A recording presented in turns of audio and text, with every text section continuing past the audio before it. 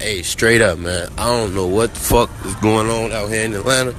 A lot of weird shit. I'm coming out the grocery store.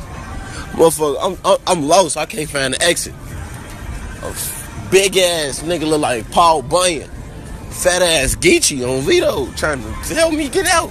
Fam, if you don't get the fuck away from me, don't do I spit sleep in this bitch before I ask your fag ass. Matter of fact, I am I'm not even I promise I'm not even that type of guy. I don't have nothing against gays, homosexuals, none of that shit. I got three gay cousins, two boys and one girl. I don't got nothing, you know? Just leave me alone though. That's all I'm saying. This nigga got all a bald fade, everything bald on the sides. Seven feet! Man, dude, if you don't stop talking to me, folk, straight the fuck up.